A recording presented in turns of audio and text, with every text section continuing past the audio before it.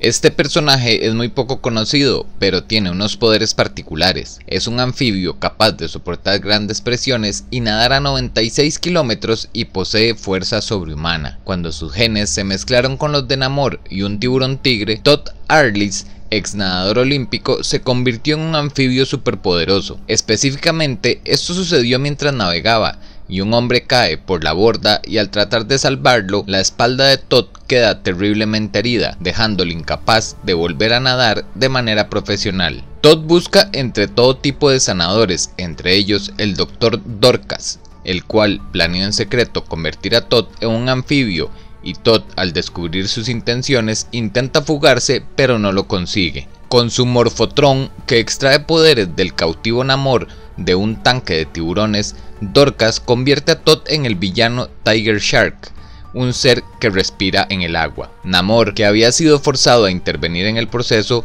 se puso furioso, pero cuando los poderes de Tiger Shark empezaron a desaparecer, secuestró a Leonard Mackenzie, padre de Namor, y chantajeó a este para que le diera más poder. En el proceso de transferencia se desencadenó el caos y Tiger Shark mató a Mackenzie y fue ahí donde tiempo después se unió a los Thunderbolts y ayudó a conquistar Atlantis durante Fear Itself. Con toda la ferocidad de un depredador marino, Tiger Shark, ahora decidido a gobernar el océano, resultó un enemigo terrible y duradero para Namor. Interesante este personaje, ¿verdad? Un villano realmente implacable y al parecer muy salvaje. ¿Lo conocían? Déjame en los comentarios qué te ha parecido y nos vemos muy pronto con nuevas historias de personajes del mundo Marvel.